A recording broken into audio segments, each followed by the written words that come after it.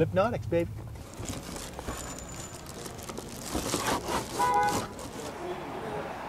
Well, we got uh, hillside seating.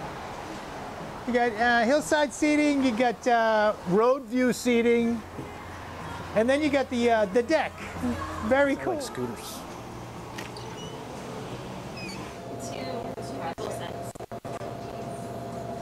And each time it's ready.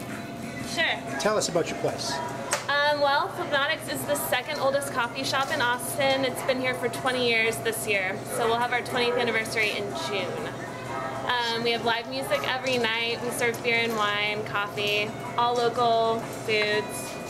Um, it's pretty cool. Not a bad place to hang out. Where it's at for LocalCiao in Austin. Flipnotics. Show us where it's at, LocalCiao.